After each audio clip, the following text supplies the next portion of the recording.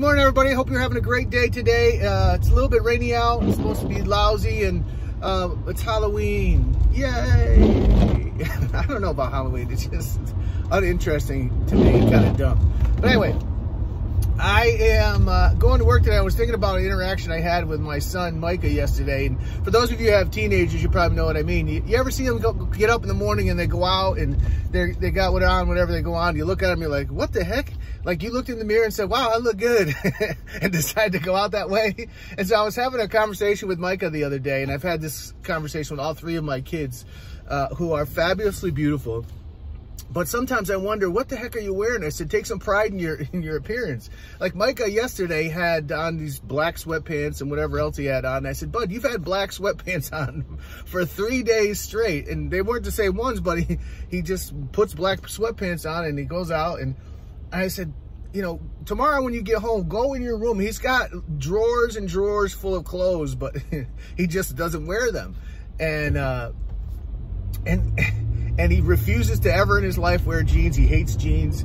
And uh, so it's just funny to me. But what I realized about Micah is he just doesn't care what other people think. He's just going to wear what he wants. It doesn't look disgusting.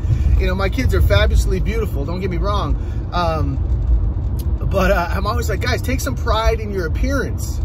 You know, don't look like you just rolled out of bed or, or you kind of look like a hobo right now.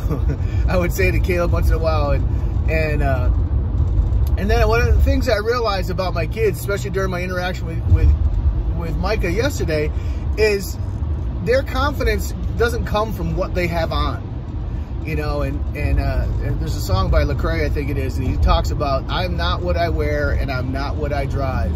And that is so true. And not that we shouldn't take pride in our appearance and look as good as we can as we go out, but we are such so much more than what we're wearing. We're so much more than what we uh, are driving, and and and it's a it, it's a mistake 100 out of 100 times to place your self confidence into something you drive or something you wear. Because I could snatch both of those from you at any, any given moment. If that's where your confidence lies, what do you have? Nothing.